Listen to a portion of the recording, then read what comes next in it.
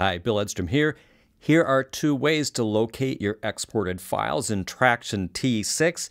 Did you ever export a file and then wonder where is the file that I just exported? Well, it's pretty easy to find. I'm going to show you two different ways to do it. If you want to learn more about Tracktion, go to leanpub.com, search for T6 or Tracktion T6, and you'll find my book, currently available as an ebook.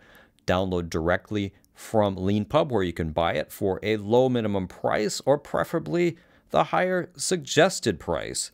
That's the book. Now, here's the way this works. So, you want to export. So, you go right to the export menu. You click render a file.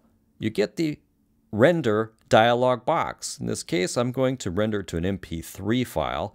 Let's pick a quality. I like to pick something like this. We'll use 256. That'll give me a pretty nice sound. I've got my in marker and my out marker set to match the area of this loop that I want to export. It's not really a song, so I want to turn on only render marked region and click render. It's done. It said render complete. Where's the file? Well, one way is to go to the browser the browser has convenient bookmarks under the Files tab.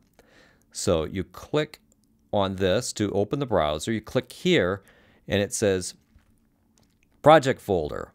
Click that. And then Exported. Click that.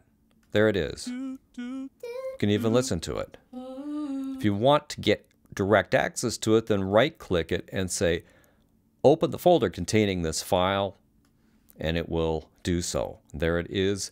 This is in Finder. It will be in File Explorer if you're on Windows. All right, what's the second way to find it? Well, the second way is go to the Projects tab. This is my project, and right here you can see this is the edit.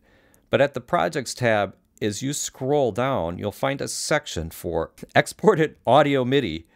And here, right here, is the file that I've exported. You can see the file name. When you click it in Properties, you'll see the exported file name. You can see it's an MP3 file. And to find it on your drive, you click this little ellipsis, the three dots, and then you can choose Open the folder containing this file, and that will take you right to the file.